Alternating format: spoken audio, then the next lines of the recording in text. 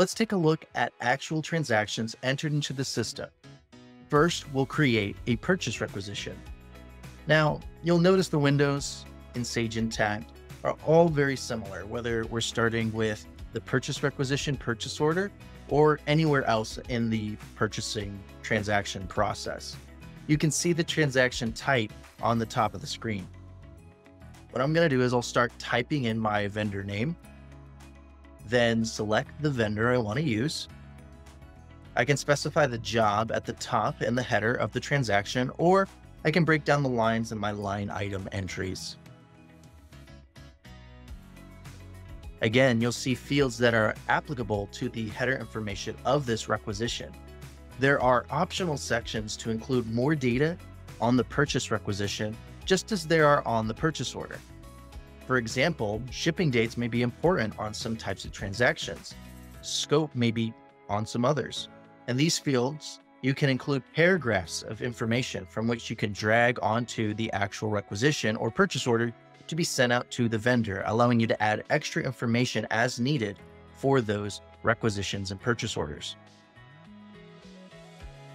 Additional fields to track additional information are available as well, such as schedule, internal reference, external reference, and bonding information. Let's jump down to the line items for when it's time to code the transaction. Now, all the grids inside of Sage Intacct can be configured so as to display the fields you want to show in the entry window and hide the ones you don't. More fields are available by clicking on this Show Details link. Now, I'll start typing in my job information and I'll select my cost code and cost type. And what it'll do is it'll default an item ID from the cost type menu. But of course, you can override the item ID if you say wanted to select from your item list or provide additional descriptions for this specific transaction here in the item description. The billable flag will default in from the job setup and moving to the right, we'll see different dimensions we may code this transaction to. In my demo environment, I've got this state and the branch, which I'm calling the location setup. From this standpoint, we'll enter in the quantity that we want to order and if we know the price, we can do that as well. By simply tabbing to the next line, this allows me then to enter in the next line I want to record for this purchase requisition.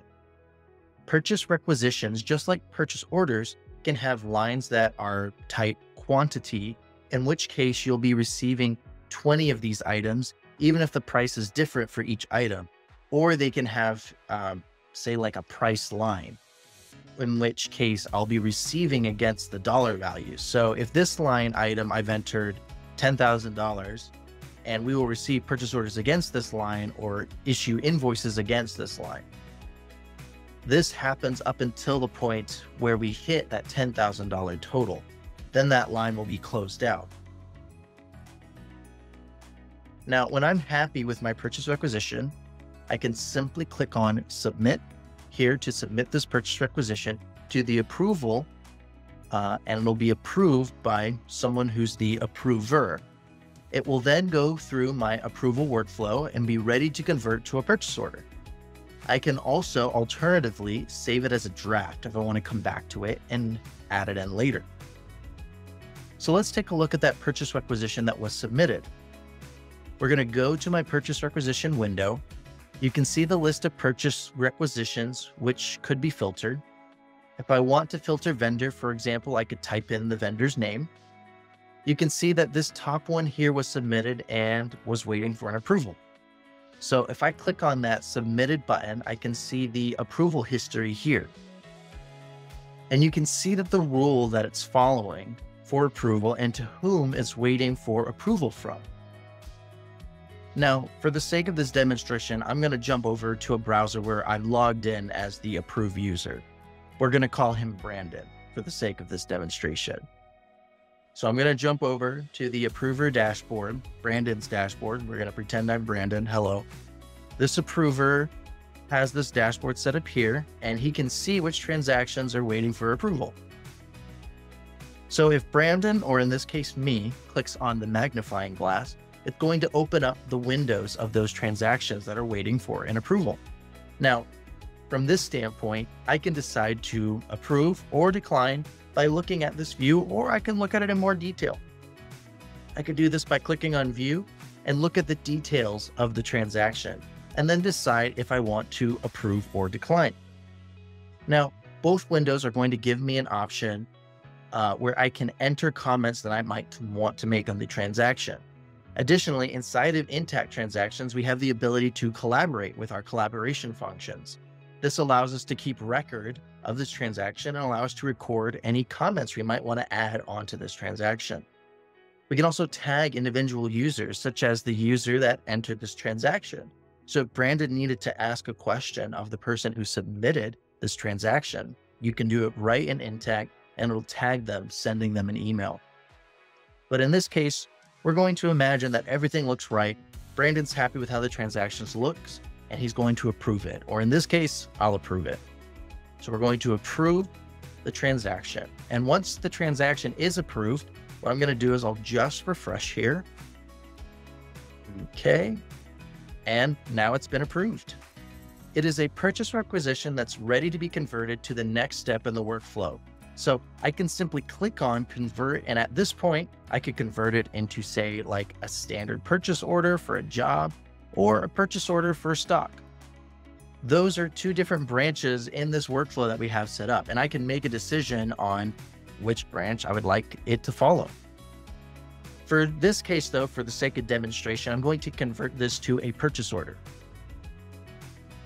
Now, when I do so, as I get it going here, everything from the purchase requisition is going to get copied to my purchase order. So there's no need for dual entry. Again, a big part of this setup and the way Sage Intacct does things with our purchasing transactions is we're trying to eliminate as much double entry and manual entry as possible. So you'll be able to see all the information and how that was entered into the purchase requisition. I can also click on this Show Spend Insights button, and that's going to provide me with information on the budget. As an approver, I can also see the budget remaining for the cost codes that have been entered on this transaction. I can click on the Spend Insights button and it will pull up the two lines that I've coded transactions to the job, the cost code and the cost type. It will tell me what my budget was for each of those coding combinations, as well as how much is spent in actual or committed cost, and I can click on those dollar values to drill down to see those transactions if I desire. I can then use the drill down as well and go all the way back to that source of the transaction entry if I want to as well. So in this case, this committed cost was the purchase order. And you can see that here. I can see that purchase requisition has been converted to a purchase order.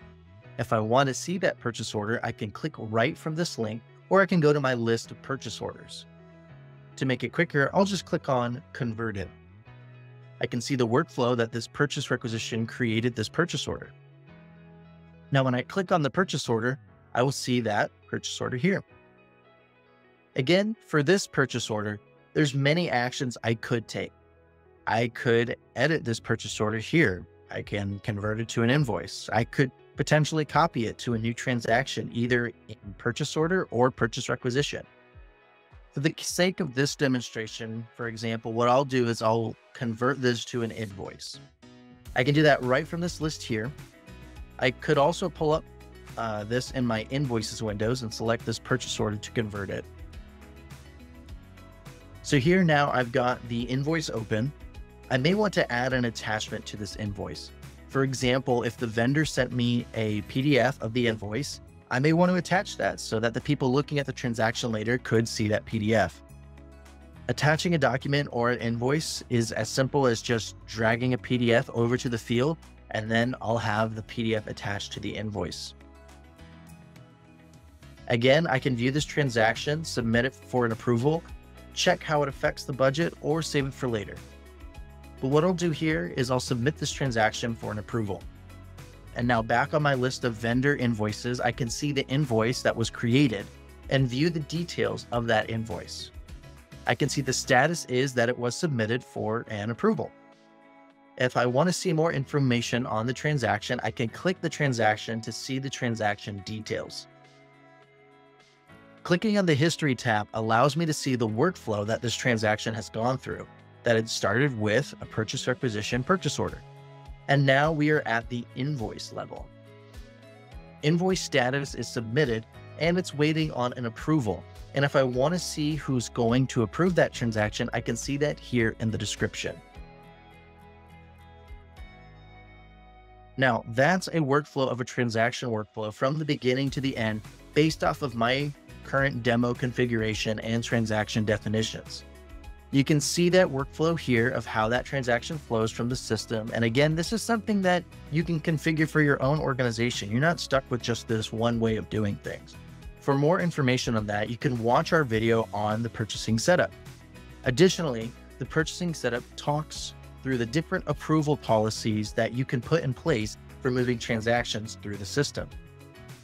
Here, my example was walking through the purchase order workflow, but the subcontract workflow, as a side note, because we get a lot of questions about subcontracts and how that would work in Sage Intacct, it would work very much in the same way with a couple possible differentiations of requiring like some different fields throughout the process. And it just would depend on the specific needs of your business. And that's where we would want to talk to you one to one. Again, if you have questions or if you'd like to dig deeper into this or you'd want to learn more about Sage Intacct, you are always welcome to reach out. And thanks for watching, and we'll see you in the next video.